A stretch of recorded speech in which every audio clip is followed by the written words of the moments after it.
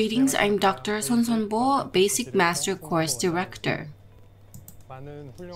I'm honored to provide a lecture in the Basic Master course. Today I'm going to talk about surgical instruments for surgery.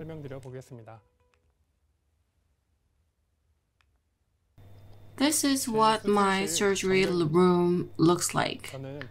For convenience, I use two surgical carts, there's a main cart and sub cart. The main cart is used to position primary surgical tools in 12 o'clock direction, and I share the tools with my assistant. In the case of sub-cart, it is positioned 8 o'clock or 9 o'clock positioned, and different surgical tools such as uh, implant engine, handpiece, and tools for incision. This is what my main surgical cart looks like. You can see that it can be divided into top and bottom part. As for the top part, I assign tools that I use from time to time, and at the bottom part, there are tools that I use very frequently. On top, there's curette for periodontal treatment. There's steel bowl in the case of GBR, as well as anesthetic ampoule in the case additional anesthesia is required, the saline syringe for cleansing and sufficient amount of gauze is placed. In the bottom, following the process flow of the surgery from left to right, the tools are positioned so that there's heightened visibility. In lower left, there's anesthetic syringe as well as tissue forceps. In lower middle, there are various retractors that guide and position the flap after incision. In the right, there's hemostat and tissue scissor. At the far right, there's nylon and needle holder for suture, as well as Dean scissor. Let's look at the sub-cart. Different surgical kits are positioned for different surgeries and three different blades for incision are positioned on the left. There's tissue forceps which will hold the reflected flap and there's also P24G, which I use for ablation, as well as periosteal elevator. After ablation, in order to remove potential granulation tissue, there's a surgical curette on the right. As for a handpiece, a Sani sleeve is covered on top of that I'm going to look at the surgical instruments that is necessary for surgery. As for blade, it is useful if you have three different types, number 15, 15C, and 12. If you have these three, it's quite useful. In general, number 15 blade is used most frequently. I think this has the most optimum form to be used in oral cavity. When we make incision, at times when bone surface is irregular or because of the divergent angle, if number 15 blade cannot access uh, the flap, I use blade number 12. In other words, that'll be the most distal area of the adjacent tooth to the surgical site. Along with here, in the cervical area, in order to make incision on collagen fiber, Number 12 is used. As for 15C blade, the width is narrower and it's easier to access, so I personally prefer it. In order to minimize trauma on tissue and uh, to make uh, fine incision, 15C is a very good choice, so I really like using it. In making incision, what is important is not about what blade you're using, but the continuity of the incision line. There should be no disruptions. Hence, I tend to pay a lot of attention and time when I make incisions. Once accurate incision has been made, then you need to reflect the flap in a very swift manner. In general, I use two different types of tools, P24G as shown on left and Molt9 elevator. The biggest difference between the two is the size of the head.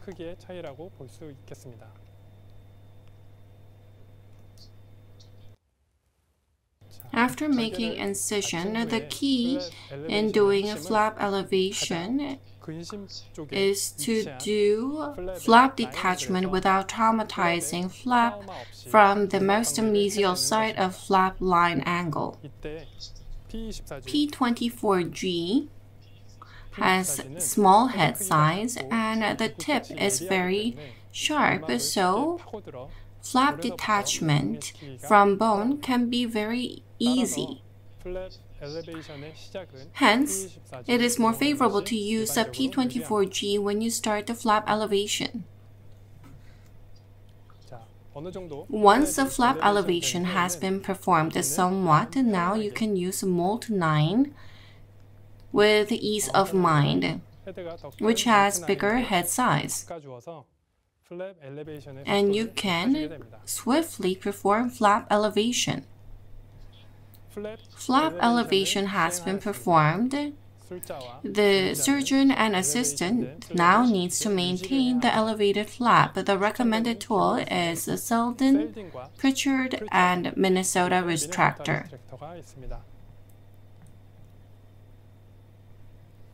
Seldin is comparatively thicker and wider, so you can stably maintain flap elevation.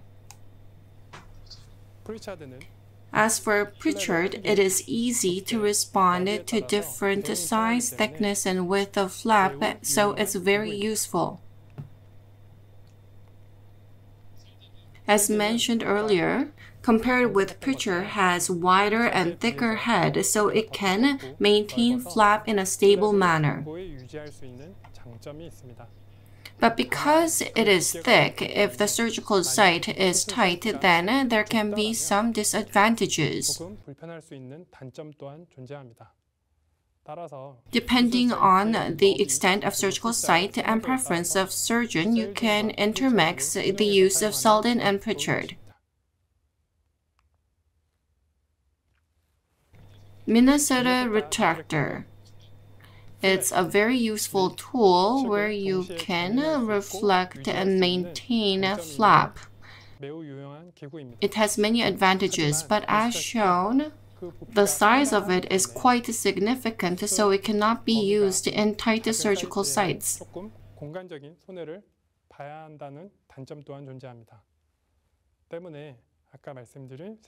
You need to use the three different retractors depending on different situations and your preference.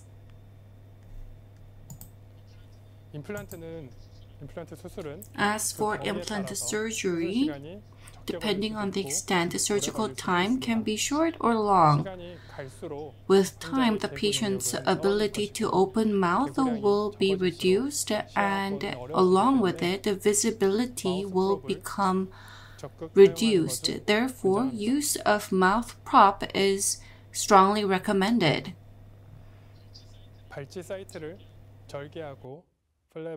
Incision is made on extraction site, and when you reflect the flap more so than an even bone surface, you come across irregular bone surface and granulation tissue. It is important to remove granulation tissue and make the surface even, and you use surgical curette for this end. In a lot of cases where it requires implant surgery, extraction is required because of unfavorable perio conditions, so the surface may be irregular. Hence, we need to trim the irregular surface which may interfere with implant surgery. First, you can use bone rongeur. If you do this, then it will help in determining implant placement position and it will not interfere with implant drilling, so it will be more favorable in the overall picture. Hemostat is very useful in removing granulation tissue or residual root of the tooth in extraction socket. Hemostat is very useful tool and when you do lateral approach in the upper case,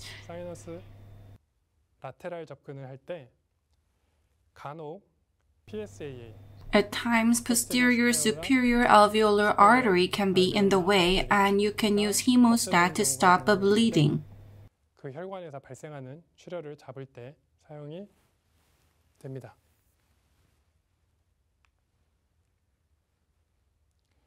In performing implant surgery, you need a forceps to hold on to the tissue. In doing implant surgery, at times a forceps may be insufficient when you do GBR and before you do flap closing, when you make releasing incision, you need to grab onto the tissue securely. In doing that, the tissue forceps is a must-have. There are two different types of tissue forceps. As you can see, you need to use uh, the forceps without a tooth to prevent any tissue damage.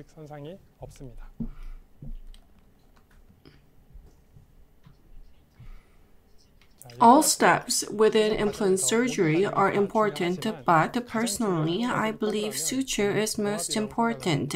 It has immense impact on surgical result and it takes up about half of the entire surgical time. I believe we need to choose the right needle holder.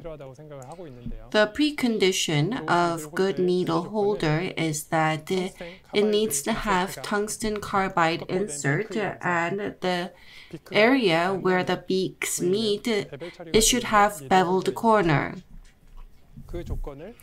The needle holders that satisfy such requirement are Mayo-Hegar and Crile-Wood needle holder. If you choose these options, then you'll be able to proceed with suture without a problem.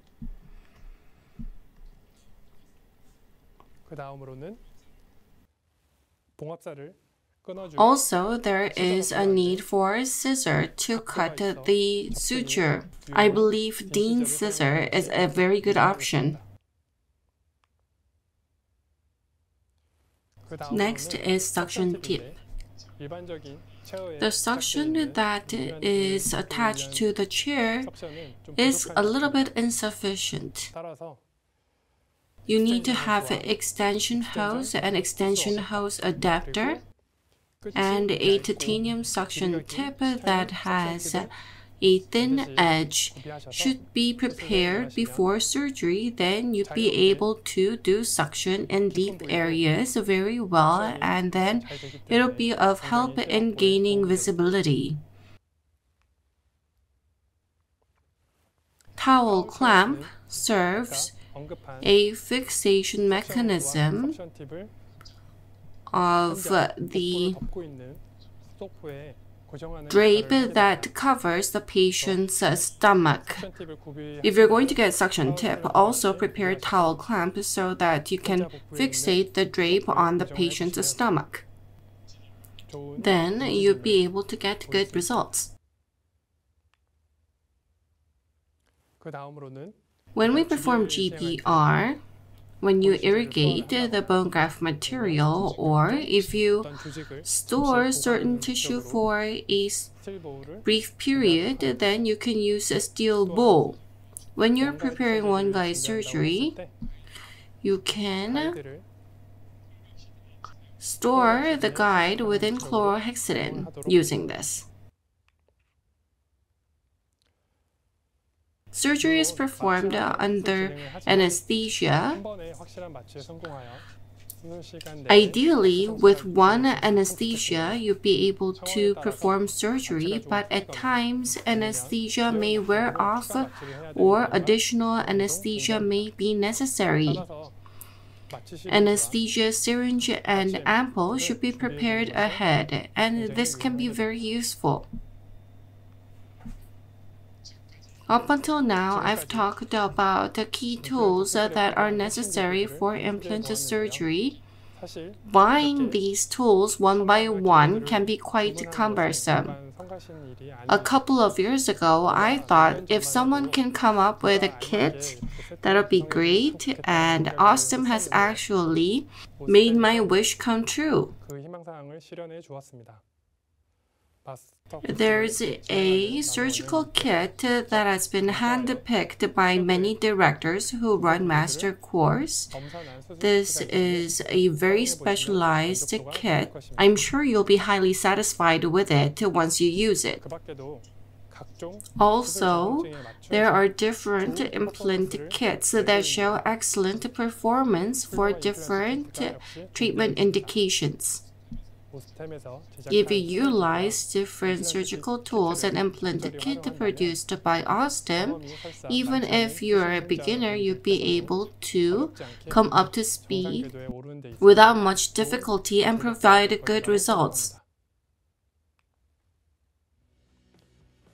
In offline master course, you'll be able to learn practical tips and information which can be readily applicable.